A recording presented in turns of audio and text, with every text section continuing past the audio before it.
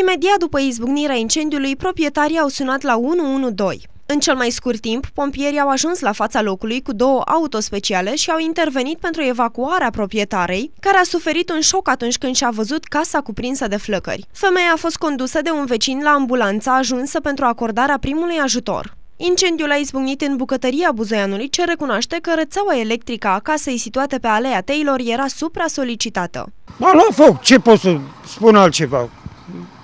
Am avut multe în priză, mașina de pâini, asta, mașina de spalat, cuptorul cu microunde, când i-am dat drumul, atunci a pognit.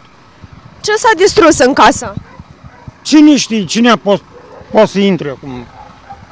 Mi-e teamă de hârtii, de acte, nu de alte ale. Asta, obiectele, sunt duse oricum.